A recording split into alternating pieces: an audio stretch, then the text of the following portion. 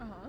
like a beard, shaggy hair, but Okay. cute. He had this whole like tortured artist thing. Yeah. He was very original, like Ooh. primitive. What? What? He was like a caveman or something? More like the Marlboro man. Okay. Are you pleading the fifth because you were involved in Mr. Johnson's murder or because of the nature Your of Honor, it is not your place to ask my witness It questions. is, Miss Watson.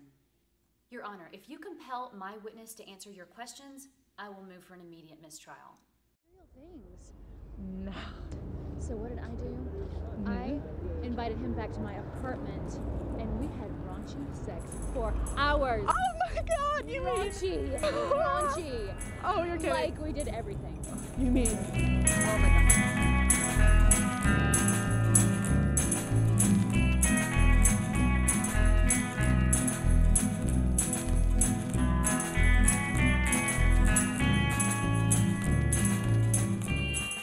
you are attempting to circumvent her Fifth Amendment rights, I will not shut up. You will shut up, or you will be held in contempt. Then hold me in contempt, and I will report this to a judicial conduct committee for immediate action.